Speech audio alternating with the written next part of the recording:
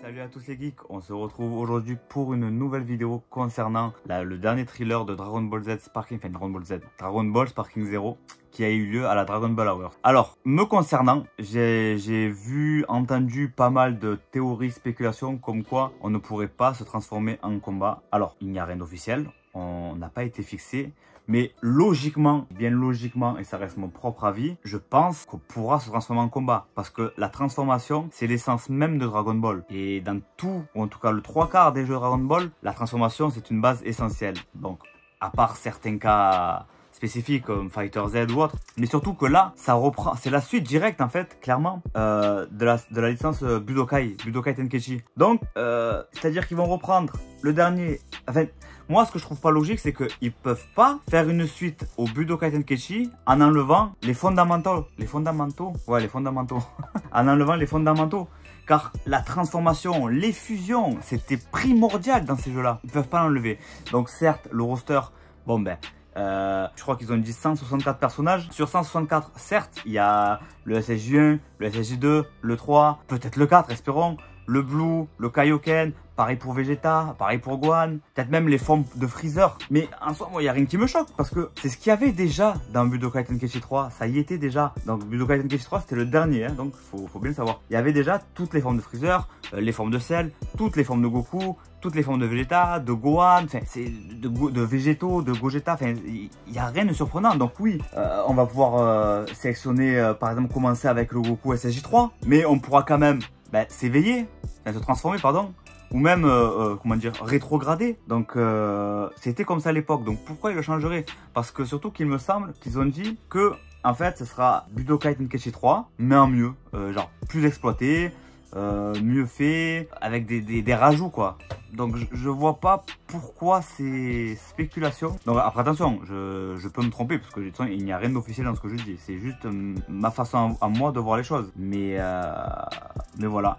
Après, concernant le roster, bon, 164 personnages au lieu de, je crois, 160 à l'époque, ça peut euh, semer le doute dans le sens où est-ce qu'il y aura déjà tous les personnages secondaires? C'est-à-dire que la palette de personnages qu'on avait dans Budokai Tenkaichi 3, elle était très très très imposante. On avait tous les personnages secondaires, mais, mais vraiment des, personnages que beaucoup de gens s'en foutaient. Je dis une bêtise, mais euh, le robot des glaces, euh, Chichi, enfin, moi, moi, mon, moi je kiffe. C'est un kiff parce que euh, j'adore jouer des randoms. Voilà, j'adore jouer random. Quand il y, a, y a beaucoup de personnages comme ça, je fais random, aléatoire, je laisse l'ordinateur choisir mon perso. Bon, hors compétition, et encore, preuve à l'appui, enfin, preuve à l'appui, façon de parler, mais sur mes vidéos euh, de Naruto Storm, Random Ranked, je me régale. Euh, je suis pas euh, le joueur qui va choisir un personnage et se focus dessus. C'est une très bonne chose de faire ça, surtout pour les compétitifs. Mais moi j'aime bien voilà choisir, délirer, exploiter, enfin voilà. Donc voilà.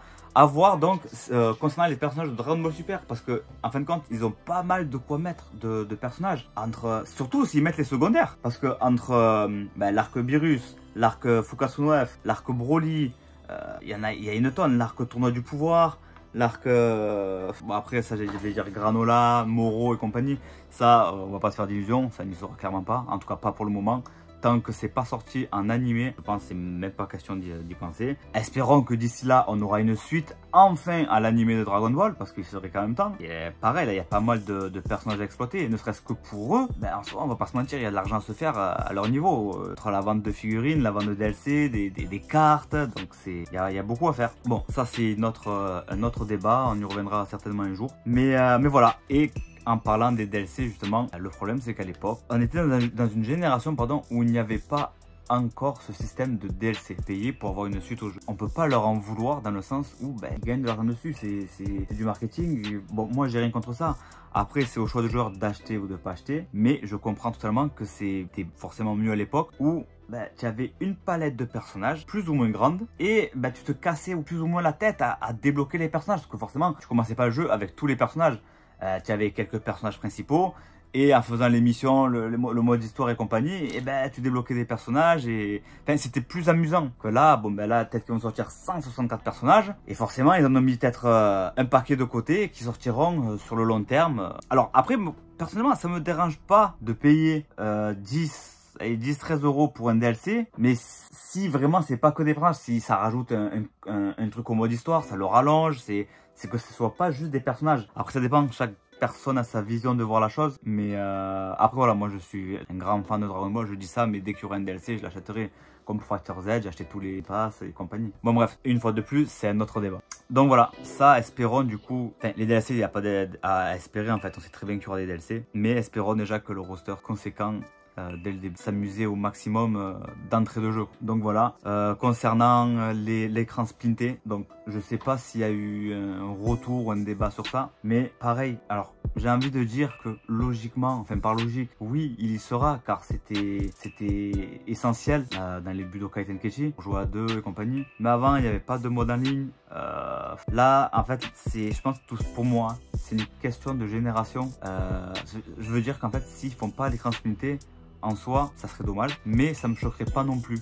Je sais pas si, tu vois ce que je veux dire, mais euh, ça aussi à voir, ça serait une autre question. Je pense de toute façon dans tous les cas que d'ici la fin de l'année, forcément, on aura des nouveautés. Je m'attendais vraiment, vraiment à avoir une date lors de la Dragon Ball Hours, mais le jeu est encore en développement, donc commence à me dire peut-être, j'espère pas, peut-être qu'il sortira en 2025, peut-être début 2025, mais en 2025. Mais j'espère vraiment, vraiment qu'il sorte en 2024, parce que c'est un jeu que j'attends direct. Puis même avoir l'annonce d'un collector que Dragon Ball font souvent des coffrets collector, voire toujours. Donc avoir euh, la, figurine, le steelbook, même le visuel de la, de la jaquette du jeu. En fait, on a tellement de, questions sans réponse que forcément ça, fuse dans la tête quoi. Et c'est tout le monde pareil. Donc euh, voilà, on en saura plus euh, à l'avenir. Mais en tout cas voilà, ce jeu est très attendu. On sait très bien. Petite parenthèse, le mode histoire. J'espère que le mode histoire sera autant exploité que, que les Budokai Tenkaichi parce que en fin de compte, c'était simple mais efficace. Tu l'histoire, tu les combats. Bah, comme dans les jeux de combat en fait. Mais il faut qu'il exploite parce que Dragon Ball, Dragon Ball Z,